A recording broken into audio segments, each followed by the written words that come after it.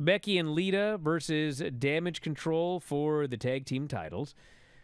So uh, Becky is going for the hot tag, and Bayley ends up taking out Lita on the apron. So suddenly, Trish Stratus's music, she just happens to be there with her music. And she's she been there, she's been there for the last couple weeks. she runs down to the ring. She attacks Bayley. Well, only the last week, the week before, she was she was called, and then she was told not to come. I think that was um, and then last week she was there. So Becky tags in Lita. Lita's going for the moonsault. Bayley tries to interfere again. Trish takes out Bayley again. Becky puts a disarmer on Dakota on the apron. Lita hits the moonsault on Io, pins her. 13 minutes. They win the tag team titles. Lita did not look good in this match. Well, you know, she is not a regular, and, it, and they were trying to hide her, They're but completely trying to hide her. but She looked she's very- there. She, was, she looked very rusty. She's she's one of four people in a match, so it's it's hard to hide a person when they're hit her doing as much they, as she they, they- did. They, hit her as much as they could. I mean, Becky probably worked eighty-five percent of the match. Yep.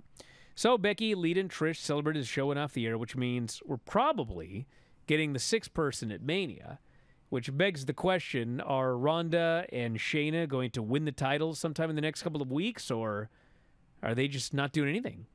Like, what's going They're, on? they're definitely chasing the titles. I mean, that's been pretty clear from the moment they put them together. So I wonder what that I was of the impression that they were still challenging for the titles. So we'll see. Here is some actual commentary from Bastion Booger. I love barbecue. It's a lot of fun. Thank you. During this match, uh, I believe uh, Bastion was uh, choking on his chicken wings. Bastion said, uh, Vince, you haven't lived up to your contract. I uh, require four or five pizzas delivered in a wheelbarrow.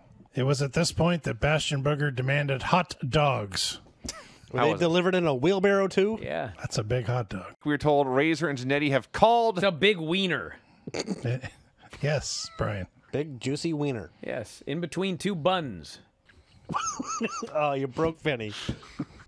If you enjoy these videos, for just $7.99 per month, you can enjoy full length editions of The Bryan and Vinny Show, Wrestling Observer Live, Figure 4 Daily with Tom Lawler and Lance Storm, the Mad Men podcast, Speak Now Pro Wrestling with Denise Salcedo, and more, plus hundreds of archived shows, all in beautiful HD.